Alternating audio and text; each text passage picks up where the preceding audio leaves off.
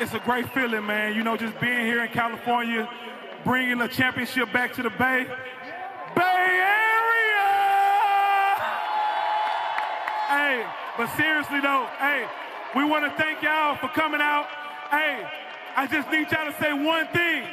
One more win. One more win. One, one win.